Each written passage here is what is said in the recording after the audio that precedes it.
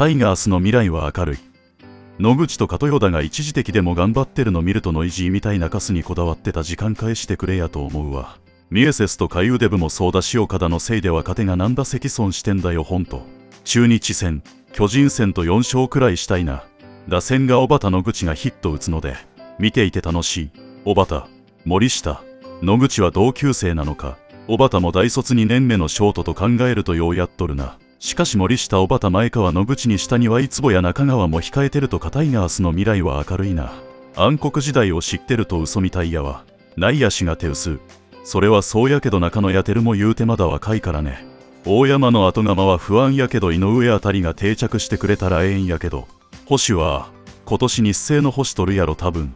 練習試合組んで視察するのは阪神やりがちやしな。